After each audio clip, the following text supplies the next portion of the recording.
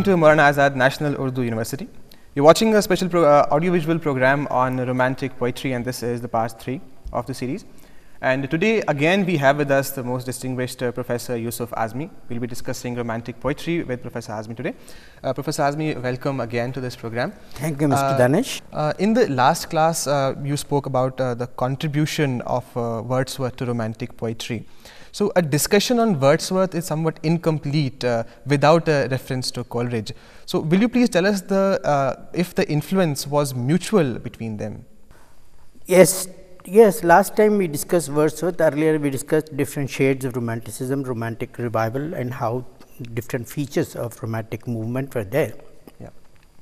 As far Wordsworth and Coleridge are concerned, I don't feel it is influence. It is the identity of mind. It is not influence. Is uh, or is external factor. So they had so much identical views. They had work jointly, made a program. So you can say that they had common ideals, ideas, because romantic movement was uh, a different departure from the earlier phase of literature. So they, uh, in terms of the contribution, whether lyrical ballads or Coleridge's Biographia Literaria, they had certain things. I, I definitely feel that uh, their friendship definitely was fruitful in terms of creative process, in terms of critical idioms. That's definitely is there. So it won't, it will not be complete at least for a uh, long time, because later on they departed for different reasons. Uh, can the poetic career of Coleridge be classified into different uh, periods, and if so, uh, which are they, and which is the most significant uh, out of those periods? Actually, this canonization takes place and they, they do identify mm-hmm. in certain movements and periods. It's to some extent it's natural, but you can't say suddenly this period started sir, ended. Mm-hmm. So, actually the earlier phase was um, not so fertile, Coleridge 1794 96. Then second phase was slightly blossoming and that mm-hmm. was one period, one, one year. But later on after 1796, their blossoming was very, very high. That was a production period where three important contribution as in terms of canonization, Ancient Mariner, Kubla Khan and Christabel uh, uh, contributed to literature. So, this is the most significant important period and um, very creative uh, genius was visible in this period. And later on the last phase was again some kind of decline. Uh, and there is a confession also uh, the decline of creativity. So, these are broadly speaking we can categorize, but personally I feel that this cannot uh, be the hard and fast rule. That suddenly it happened and when the uh, movement was the day new year started another start. Creative process will continue. Its lengthening shadows will always be here and there and other things Uh, is there any specific reason for this that only three poems uh, of uh, Coleridge, that is Kubla Khan, Christabel, and uh, uh, the Ancient Mariner, are the products of uh, the best phase of the poetic career of Coleridge? Uh, for a poet of his caliber, uh, don't you think that it is uh, rather strange? it is not so strange because certain limitations of personality. So, he was addicted to opium and a person who is completely addicted not casual way mm-hmm. and his health deteriorated and furthermore to what extent it deteriorated it is very difficult to say, but he was uh, not in a position to have a cohesive attitude towards things. Coherence was also lacking as you see I see because many of the works fragmentary and he himself confessed the work fragmentary. So, it is uh, s- strange of course, the caliber of uh, uh, Coleridge definitely a major poet in English literature, but uh, we know it, uh, the factors that contributed to this deterioration. That is why it does not give a sense of very strange kind of feeling, it does. So, there are some personal problem basically and also sometimes what happens some writers get block. Yeah.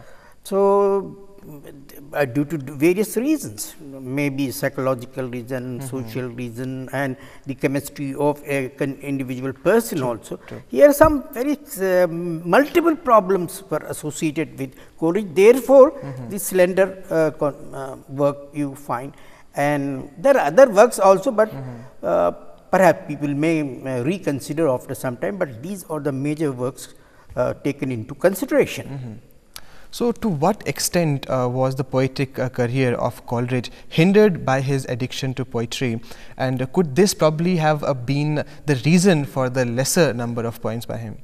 It appears like that, but there are people who were addicted to opium, -huh. they were addicted to different other things, even they contributed Baudelaire. So, many I can give many many instances right. from, but it uh, it is very difficult to determine how far this uh, drugs opium affects a person. It may not be person to person the same thing you mm -hmm. cannot make, but uh, there may be some kind of disgust uh, with the creative process other things, but definitely it appears that opium was responsible his health also deteriorated and there was uh, some kind of extreme kind of attachment to this addiction, there, uh, addiction there may be possibility sometimes some person may have casual, but he was fully I mean in, in the whole mm -hmm. the way it was involved with opium and it might have been a possibility. Mm -hmm. Uh, Coleridge is considered to have worked by fits and flashes uh, and largely failed to finish his uh, ambitious projects. Uh, what do you think is responsible for this? Uh, is it the sudden decadence, uh, his lack of self confidence or the drug addiction? Basically the core factor may be drug addiction might have affected so many things mm -hmm. understand. So, what happens uh, first and the foremost is that his projects were very ambitious. Mm -hmm. Wordsworth also had a very ambitious project prelude, but he took long time he was in a position to complete it. His projects were very ambitious. Ambitious projects need some time it also needs the logical connectivity of the things. If you write a simple poem, it may not be, but if your design is to have a very big poem, then naturally there should be consistency, coherence, co cohesion, all those things. It was not possible for him to continue these things, and moreover, there was a, some kind of dreamy kind of atmosphere he was under this. Opium may be uh, the real factor for that. Therefore, uh, you find um, uh, considering Coleridge as a romantic poet, can we look at Kubla Khan, uh, his fragmentary poem, and see how it presents the creation of the dream world uh, authenticated by psychoanalysis? The dream world is definitely all there here and there, in, uh, and in um, more uh, important aspect of his poetry, dream world is there. So, in terms of uh, in, uh, when interpreting dreams in the mm -hmm. 21st century, it will be different uh, compared to the other mm -hmm. centuries. Definitely, I mean you can uh, reinterpret or interpret them the dream world and actually it is the product the whole uh, creation is a product of a, a kind of dream. Mm -hmm. So, it is possible that uh, we can go for them. Some people get flashes and they complete it. Afterwards, um, they couldn't write it and it happened to him also. Uh, as a poem of imaginative exploration, do you think that Kubla Khan succeeds as a discovery of essentials of artistic creation and uh, the relation between the natural and supernatural? Is uh, uh artistic creation is largely successful. I, I won't mm -hmm. say that uh, there are certain limitations also some problems his meter was also that he tried his best. But however, the supernaturalism and naturalism blended very creatively in his work understand. It does not appear that something outside thing imposed or other things whether images, nature, supernaturalism becoming a part of the whole things. So, the, uh, it in a way it is a fine planning. So, does that mean that uh, Kubla Khan can also uh, be considered as an allegorical poem? Allegory is that um, where uh, uh, Abraham says in his uh, dictionary of terms, mm -hmm. where a certain situation of circumstances gets equivocal or equal meaning in different other situations having coherent meaning. Mm-hmm. So, that kind of uh, allegorical is there. I mean the whole design is like mm-hmm. that allegorical everything uh, you can say in way. It is definitely like a story a, in a story. Yeah, in uh -huh. a allegorical poem. That is that you are right. Mm -hmm. So, talking about uh, the natural and the supernatural, can you tell us that, uh, that how Coleridge blends the two in the rime of the ancient mariner?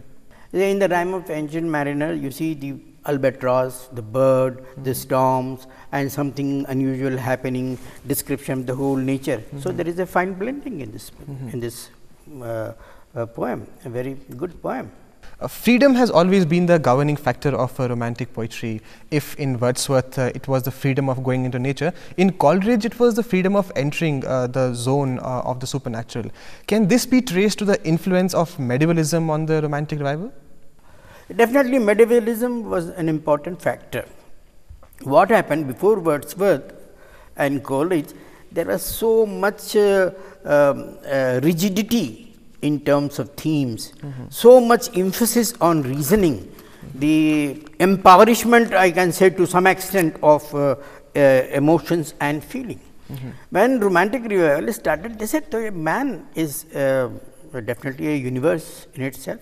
And also what happens, the relationship between man and nature was also in the background. These romantic poets definitely uh, focus on this more, more particularly Wordsworth on nature and perhaps what understanding develop or, or their attitude here and Coleridge uh, more uh, was focused on supernaturalism. Mm -hmm. Supernaturalism when you take it goes naturally to the medieval influences mm -hmm. understand, but in our age supernaturalism uh, will not be so relevant except horror films mm -hmm. and um, Harry Potter for children other thing right. because there may be other uh, ways of doing magic realism uh -huh. and other things, but uh, supernaturalism will not appeal because man is possible and uh, man has come to certain positions can uh, unveiling all many of the secret. Mm -hmm. So, supernaturalism cannot become the part of the faith and the belief and even feeling. So, can we say that supernaturalism uh, is not an embellishment, but an organic part of uh, Coleridge's poetry? Uh, now, if we consider Christabel uh, by this parameter, uh, how effective has been Coleridge in his attempt? You see, it is not embellishment; it is an organic unity. And say, I, I said earlier that uh, maybe its relevance to the our, our times mm -hmm. or the times immediate uh, situation may not, but there is it's not an embellishment. It, uh, he was successful making an organic unity. Mm -hmm. And that organic unity has come because of a fine blending, artistic blending there. Mm -hmm. Uh, the extension of a poet's frame of mind into the nature around him is kind of skillfully brought out in dejection and ode. Uh, can we consider dejection to be kind of confessional in mode and uh, can we suggest that Coleridge yearns to be uh, in the same joyous spirit as uh, his beloved or is the poem simply about the poet mourning his loss of creativity? There are three things. first, I mean uh, you said about the confessional mode. Yeah. There is definitely a confessional mode. Confessional mode in our times uh, or in the 20th century made a different departure. Another thing, many uh, American poets, English poets, and in our some uh, renowned uh, Indian poets also. Here you do find some confessions. So the mode is definitely confessions, but he was in a sad mood there. He tried his best to become um, joyous and get some kind of happiness, but uh, some limiting factors were there. Mm -hmm. And therefore, uh, but the limiting uh, the limitations mm -hmm. were for the for understanding that something is going, some loss, loss of creativity, and some kind of feeling was also there in Wordsworth, mm -hmm. loss of loss of creativity was realized by him mm -hmm. because whatever the uh, I mean, blossoming period I referred to you earlier say ancient man mm -hmm. Kubla Khan and Christabel mm -hmm. and uh, the, the, important thing now in uh, dejection he feels uh, he can't write in that way what mm-hmm. happened is it the loss of creativity what is so this is a, a, a kind of introspection uh, and um, understanding the creativity, the creativity, the outburst uh, uh, could not find. So, if it is loss of uh, creativity, like uh, what was it like? The, was there specific age group uh, age for that? Like at what time was it? Do you feel? No, it is not the time fact age factor. -huh. It is not the age factor that was responsible for them. The loss of creativity, psychological reason, chemistry of his mind, and also the other uh, factors or sometimes maybe uh, some kind of lack of confidence when Wordsworth writing such yeah. it happens. Sometimes you feel or oh, I can't write. Yeah. So, then there are so many social phenomena, social possibilities, psychological Including factors. jealousy, but they, they were friends later on they departed. Um, jealousy you can say if you want to say some kind of professional jealousy okay. may, may not be in a major way, but there can be policy. Okay. Uh, then would it be right to call dejection uh, an autobiographical poem? Uh, has it got anything to do with the, the significance of the individual uh, in romantic uh, poetry? It is definitely autobiographical. When a person, the poet is analyzing himself and it is very clear and the protagonist and sometimes others, it is very difficult to point out whether it is autobiographical. Here clear cut demarcation is that is autobiographical. Mm -hmm. Elements of autobiography definitely there and maybe elements of autobiography in the background of the creative process. Now, individual has always been an important factor in romantic movement, understand. Mm -hmm. Individual was suppressed earlier for certain times. So, because every individual has certain feelings and a universe in itself. Unfortunately, romanticism became so loose that hundreds of definition later on developed. Mm -hmm. But however, romantic revival gave a new direction that do not ignore the individual. Mm -hmm. So, individual freedom or individual is at the core of mm -hmm. romantic poetry. So, which was not there uh, in the classical or neoclassical. Yeah, they suppressed it. You can't say there was not there, uh -huh. whereas dimension was not so okay. uh, high and prominent. prominent. Yeah and suppression was there. Mm -hmm. So, you, uh, some codification, you have to write poetry like this, these are the canons, you should not do this. There are certain things also in modern poetry also, do not write other any kind of sentiments. Why not? Sentiment, do not uh, exaggerate sentiments, but sentiment sometimes become a part of poetry. Sure. And his uh, um, problem was uh, uh, Coleridge, some kind of um, sentimental feeling were more dominant. What attitude to nature does Coleridge present in Dejection? Uh, is it uh, different from uh, what uh, Wordsworth presents in Immortality Ode? Actually, I told you earlier also there was some sense of feeling of creative death in Wordsworth also. The long mm-hmm. period where there is no creativity, but there is a difference. Both have some of commonality, parallels, and difference. Difference is that the Coleridge uh, a melancholic mood or introspection uh, to his own personality and the boundaries are so limited within that. But Wordsworth tries to balance it with the philosophy of life, worldview and broad spectrum of nature and other thing. He becomes more positive. Mm-hmm, mm-hmm.